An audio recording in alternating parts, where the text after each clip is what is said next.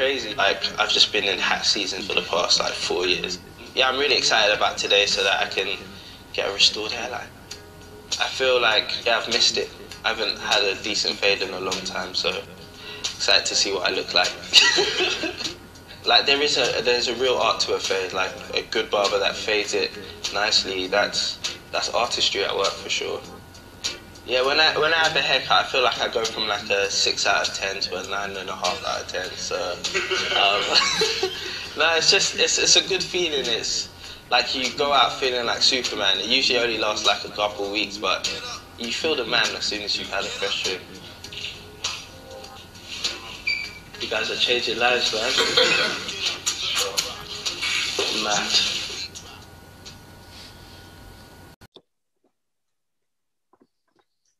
Hello and welcome to Black Economics TV. We have a special guest with us. He's in the hair business, and I'm going to ask him to introduce himself. Hi, good morning. My name is Cyril Yerefor. I'm co-founder and COO of New Fade. We're a hairless company, and we provide solutions to men who are suffering with hair loss. Okay. Yeah. So basically, men who are bald you can uh, do a transformation that enables them not to be bald anymore, at least for a period of time. Basically, basically, in a nutshell. Okay, now in the introduction, you would have seen some of the videos in terms of how they transform men's hair, and uh, it's quite innovative.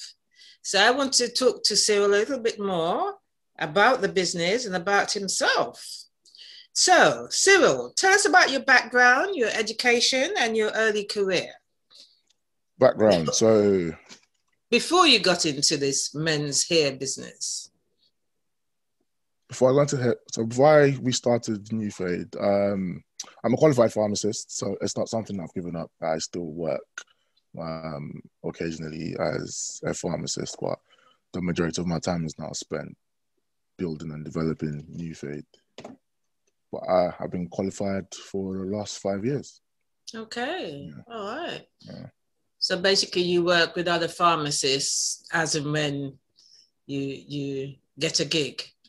So I work with different healthcare professionals. Work with doctors, pharmacists, nurses. Mm-hmm. Um, it all depends on where I'm working on the day. So if I'm working in hospital, I'll be in much closer contact with the doctors and nurses. And from working in the community, um, usually I would be on my own or with another pharmacist mm. and a team of dispensers and healthcare assistants. Well, well done on your qualification to be a pharmacist. That's fantastic. Thank you very much. You'll never be out of work or when you're ready to start your own pharmacy. I'm sure you'll never be out of customers. That's for sure. yeah, I mean that's that was the whole idea. Oh, that was part of the reason why I got into healthcare. Yeah, in the first place, it was just something that I can always go into, and it was something that I've always been particularly interested in. Um, I think the human mm. body is, is something I've, that's always fascinated me, mm-hmm. um, and being able to provide solutions in the form of medicine to people who ill health just yeah it caught my attention and i thought let me go for it. It was brilliant because you know health secrets that the 99.9% of the population do not know. So well done. When did you get into the hair business so we launched new fade in 2019 and we've been growing ever since. Ever since 2019 yeah. So tell me what does new fade do?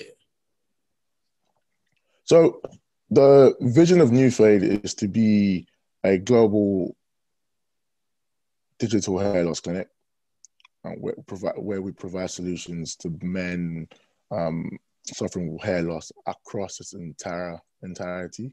So from early stage hair loss to late stage hair loss, the idea is that we would have a solution for any man who's suffering with hair loss.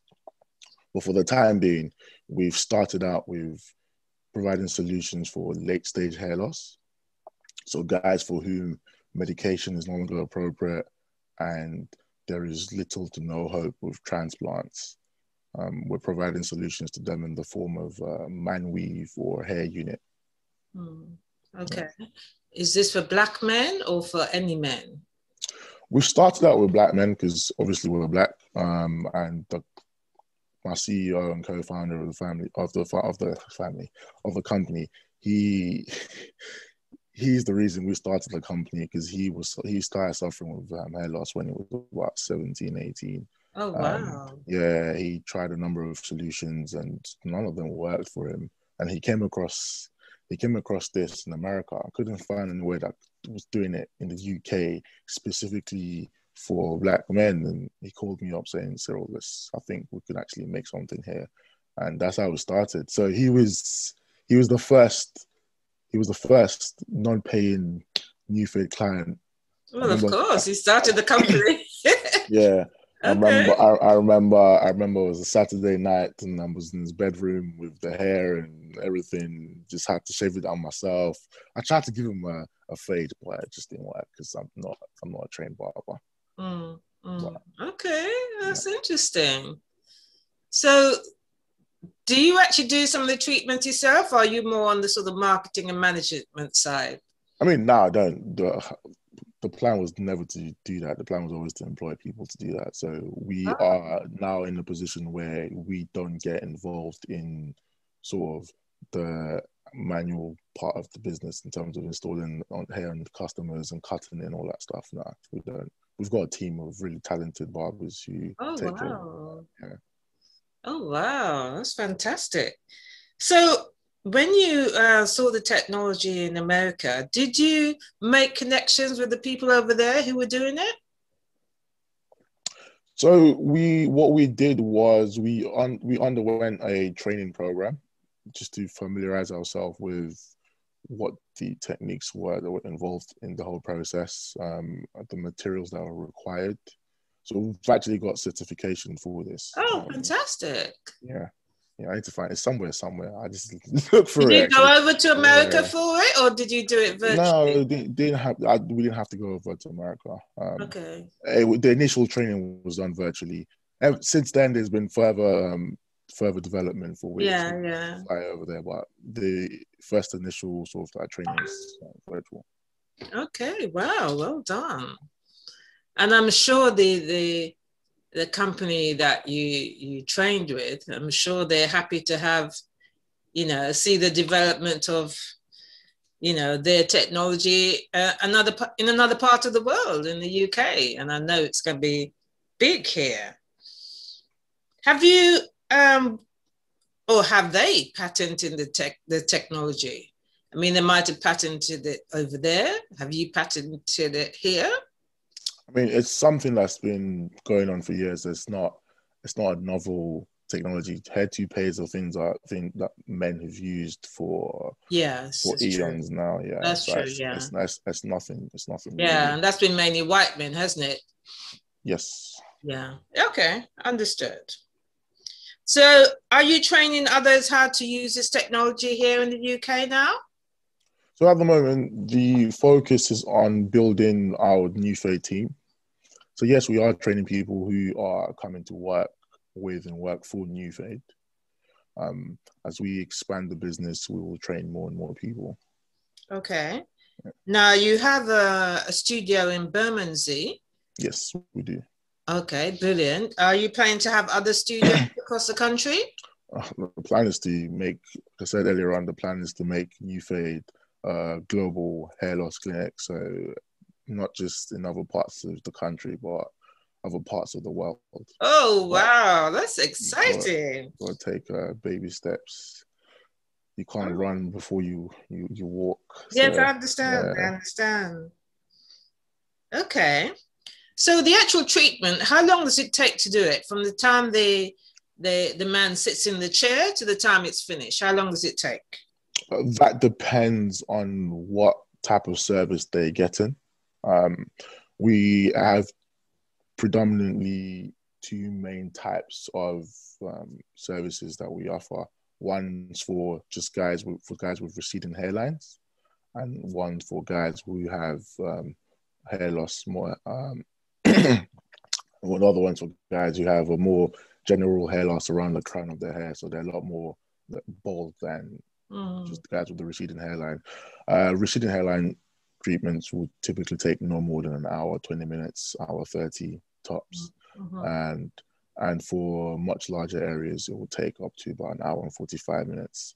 Two hours the first time around when you come in, because um, usually the barber would have to ask you a few more questions just to get to know you as a person and exactly what the gentleman wants um, on the day uh, before starting the process. But generally speaking, hour and a half to two hours.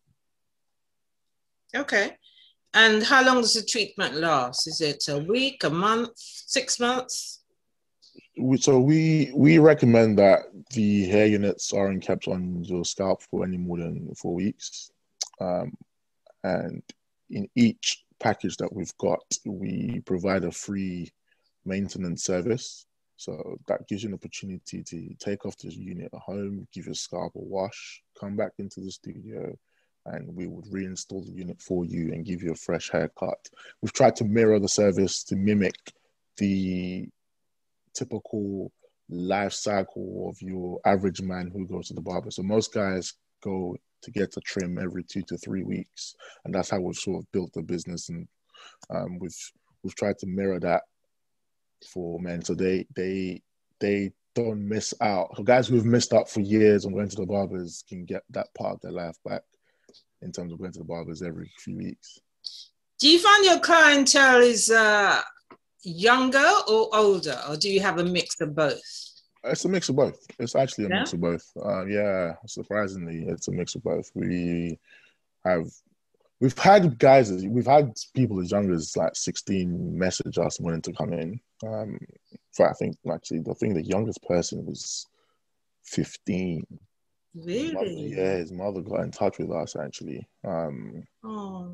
um, but I think with that particular person, we had to say no just because they were too young, in our opinion. Um, and we've had men as old as, I think, how was he, about 60, 65? Mm. Yeah.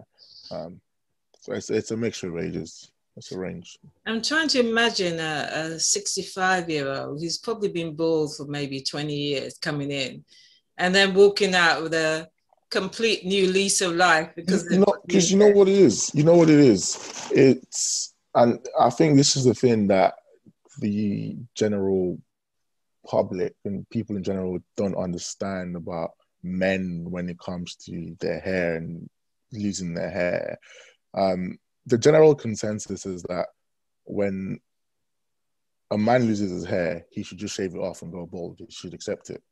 Um, the thing is, for men, hair is a way of expressing themselves.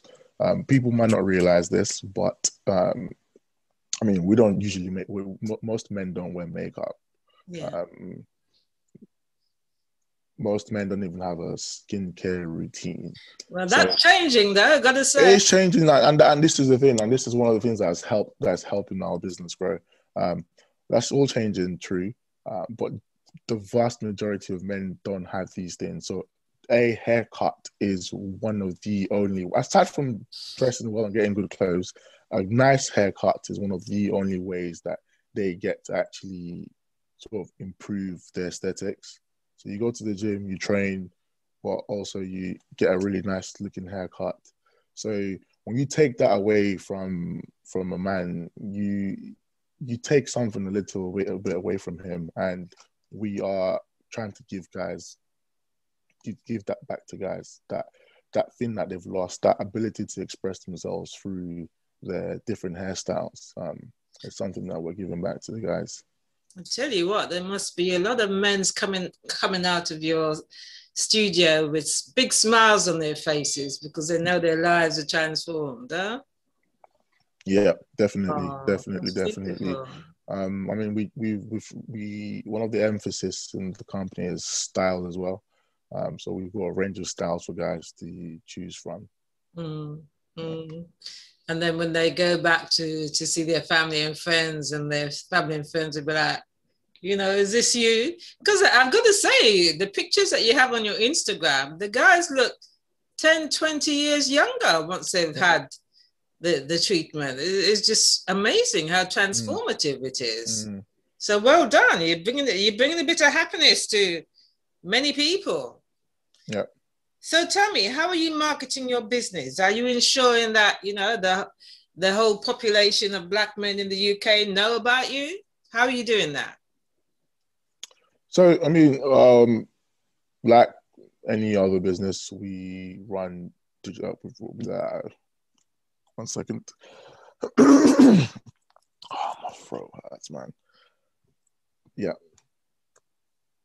Um, so we we run we run ads on Facebook and Instagram like oh. most like most businesses will yes. these days. Um, word of mouth marketing has been really helpful as well and really pivotal. And um, we've also had features in BBC, Forbes. So all of that social proofing has really really helped with growing growing the business. Yeah, Forbes. Yeah. Whoa, whoa, that's great. Yeah. Um, and BBC. Had, yeah, we had a, a, feature with BBC was last year, I think around September. Um, that was really that that that would really that was really good. That really helped us. It really um, gave us um, some of the social proofing that has helped us sort of grow our numbers over the last last six to eight months. Yeah, I think I came across you guys on Instagram, but somebody else had posted about what you were doing. Yeah. And then, I, you know, as you do, you drill down to see who the business is, and then I found yeah. you. Yeah, so um, it's great when other people can talk about you and spread the yeah. word, and um, we'll certainly be doing the same for you as well. Thank so, you. as an entrepreneur, do you have other business interests? Of course. Um, ideas are always going to come. Um, I mean, there are times when um, you're sleeping and an idea just comes and you want to work on it now, but uh, I think my sort of philosophy is in it, it, sh- it should be one thing at a time. Start one thing, see it as far as you, as you possibly can before jumping onto the next one, because otherwise you just end up being a jack of all trades and master of none and not really accomplishing anything. So wise uh, words. Yeah. Wise words. Yeah. Okay. How would you encourage others to follow your dream, follow their dream? Um, get out of bed. Early. Get out of bed. You can be a dreamer, but don't live in your bed. Um, yeah, but but definitely, I say it's it's a, what one of the things that I found um, most useful and helpful is working with two co-founders who are equally, if not more, driven than I am, um, who are highly intelligent um, and established in their own strengths. Um, and three of us working together has been a real blessing for the company and really pushing the company forward. So if if you have any if you have any ideas, any dreams, definitely don't be afraid to step out and take a risk. Um, it is easier if you do it with someone or people than if you try to do it on your own. Mm. Um, just find it's important that you find people who you can trust, who, who and people who can believe in believe in you um, when Joey spoke to me about this, he came he came to me because he knew that you know what I'm always down for uh, I'm down to explore ideas and try and see things through. Um, and same with Moses as well. So that's why that's why three of us work well together. Hmm. What are the professions of your other two partners, business partners? Uh, they're both medical doctors. They're both doctors. Okay. Yeah, they're both medical. So we're we're we're a team of healthcare professionals. Oh wow, yeah. that's amazing. Yeah. Well, you've definitely got the brain power behind you. You've got the drive. You'll be taking this to the moon and back, and then you'll be setting up other things. that's the that's the that's the hope and dream. Oh my goodness. Oh, I'm so excited for you.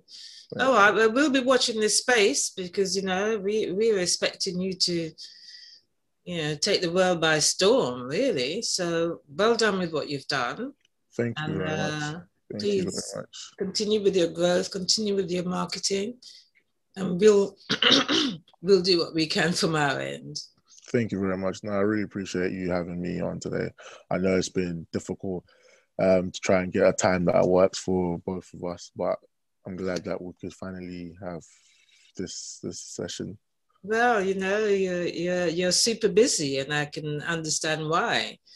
You know, and as your business doubles and trebles, you know, I, I'm probably not going to be able to uh, get a peep to say hi. You know, you're gonna be too busy to oh, talk to me. So, I mean, you got me on WhatsApp. You got me on WhatsApp. You can always drop me a message on WhatsApp. All right then. Thank you so much. no, thank you, Dawn. I really appreciate it. Thank you, Cyril. You take care and say hi to your business partners. I will. I will. Tell them well done. Thank you. All right. Bye. Bye.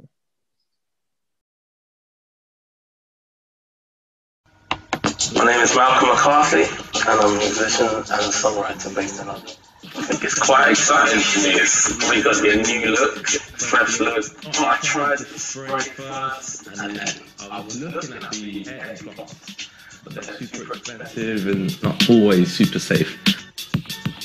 Fade just feels like waking up in Morocco on the beach and you dip your toe into the water. That's what fade is to me.